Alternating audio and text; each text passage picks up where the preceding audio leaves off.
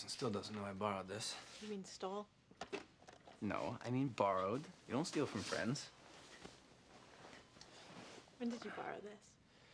Uh, in 1998, right after he shot it. Oh. I'm broke, but I'm happy. I'm poor, but I'm kind. I'm short, but I'm healthy.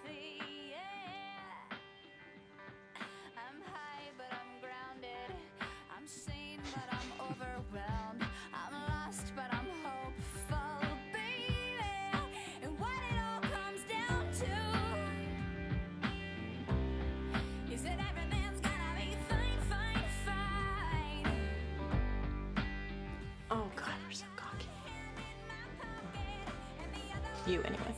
Yeah.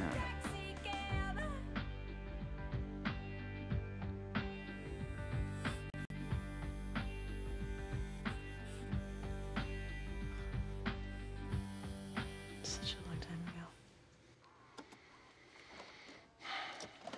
Yes, it was. I recognize a Joey Trans when I see it. It is definitely nice to have her back around again. Do you feel the sparks? Well, you can never really deny the sparks between the two of us. When she's around, I just feel more. I feel more alive. I think people underestimate how important that is. I think they overestimate it too. I mean, as much as you want to, you can't rely on someone else to make you feel alive.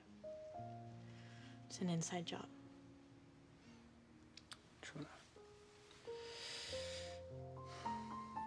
So, do you plan on borrowing her or stealing her from your best friend? But I'm hoping that it's a little different now. That maybe we've moved beyond that.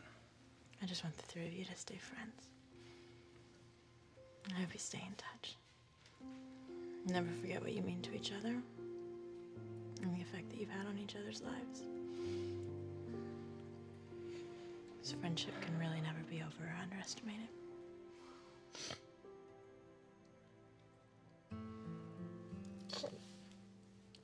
God, I hate this. I'm so angry. I'm so angry. I don't want to do this. I don't want to die. I hate this. Remind me to never do it again. It's not funny. I'm losing my sense of humor here, Pace. I don't want to leave my daughter. I don't want to leave her alone. You will not leave your daughter alone. I promise you that. Saturday night has me and Amy's name written all over it, okay? They will take care